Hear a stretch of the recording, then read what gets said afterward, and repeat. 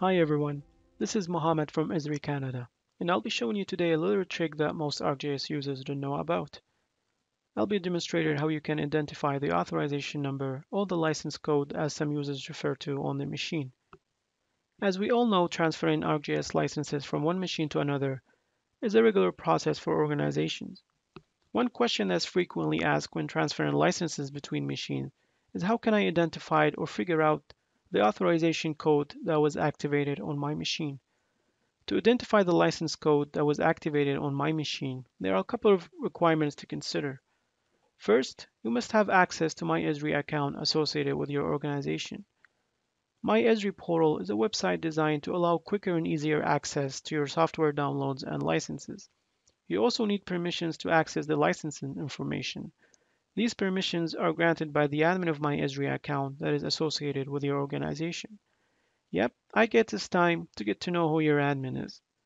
The second thing you need to consider is that you must have admin privileges to access the ArcGIS administrator on your machine.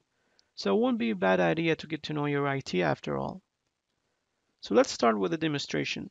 First, I'll go ahead and launch the ArcGIS administrator on my machine. The ArcGIS Administrator is a utility that's installed automatically with the ArcGIS desktop, and it allows you to manage your license and environment. Now that we have it open, you will notice a directory tree menu on your left, from which the ArcGIS connection is selected by default. This section provides more information about the ArcGIS configurations on my machine. What we're interested in here is the machine IDs. So I'm just going to go ahead and click that option. It will take a couple of seconds to generate the information. Now that we have it open, you can find the unique identifiers associated with the machine. What we're interested in is the UMN IDs. This code differs from one machine to another. So in your case, you can have UMN1 or UMN2 or both together. So I'm just going to go ahead and copy that alphanumeric code. And we're going to use this code in our My Esri account. So once I go back to my Esri account and sign in, I will go under my organizations, licensing, and from the licensing menus, there is one option under the licensing tools called recover lost licenses. So I'm just going to go ahead and click on it. And from step one, ask you to identify or find your machine. In our case, we already know the machine IDs from the ArcGIS administrator. So I'm just going to go ahead and select the second option and go next. Step two would be basically to paste the UMN ID that we just copied. So I'm just going to go ahead and paste that code and click on search. And here we're going to get the results that we're looking for. You can see we have all the activations or the license numbers that were activated on my machine. So if I'm looking specifically for, let's say, for example, spatial analyst, I can just control F and just search for spatial. And you'll notice that I have one spatial analyst authorized with the ESU code. And this is basically it. If I'm looking for a desktop advanced, and as you can see, I have ESU code here for the desktop advanced, and I have some other more information like activity date and authorized by who, and so on. If in a scenario where your organization uses concurrent use licenses only, you can follow the same exact workflow that I just did. The only difference is that you will need to access or get the UMN ID code from the license server manager. The license server manager is another application that needs to be installed in case your organization use concurrent use licenses.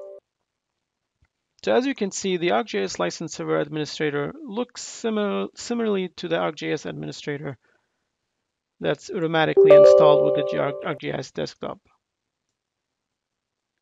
So we need to follow the exact same flow. I'm looking for the machine IDs here. I'm just going to click on the machine IDs for the ArcGIS Administrator as well, so we can notice how both are similar and identical with information. And here we go.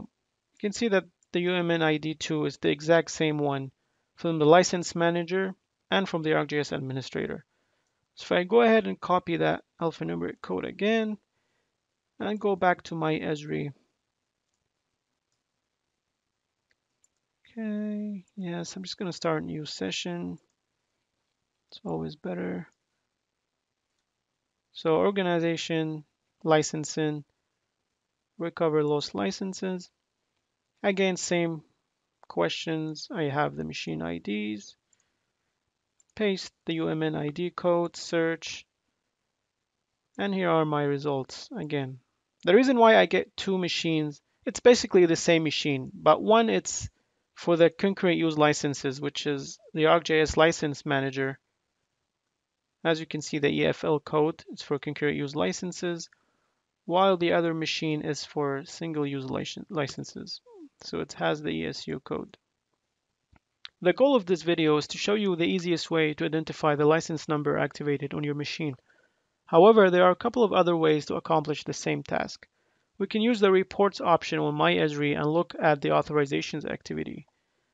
So if I go back up here, again under my organization, and go under reports, and from there, there's a section for authorizations activity. So if I go ahead and click on it, here I can select which fields to display in the report to better visualize the record. So I'm just going to go ahead and just like hide some of the fields that I don't need. Licenses group. Let's see, activity, name, file ID, customer, and fulfillment ID. All right. Once I'm satisfied with the table or the report, I can now filter the UMN ID2 column with the UMN ID that I have on my machine. So if you click on the filter icon and just copy or paste the UMN ID that you copied from the ArcGIS administrator and just filter, you will get all the products and the extensions that were activated on that UMN ID associated with your machine. So as you can see here, I get all the product, the extensions, and the authorization number.